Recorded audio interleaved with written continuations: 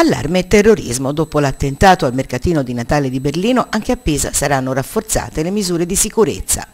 A cominciare dalle piazze e dalle vie che portano alla Piazza dei Miracoli, dove saranno installati pilastri, mobili uffissi, in grado comunque di garantire l'accesso ai mezzi di pulizia e di soccorso, alle navette e ai mezzi di raccolta rifiuti.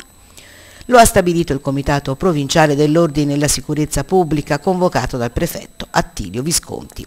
La soluzione richiederà tempi piuttosto lunghi, per questo nell'immediato, precisa la Prefettura, si procederà all'installazione di blocchi di cemento messi a disposizione dalla Pisamo, la municipalizzata che si occupa di mobilità urbana nella consapevolezza che tali manufatti impattano negativamente su un'area di grande pregio architettonico, saranno valutate tempestivamente altre soluzioni provvisorie di minore impatto estetico, in grado comunque di garantire la sicurezza dei cittadini e di quanti vogliono fruire delle bellezze di uno dei siti più importanti a livello mondiale.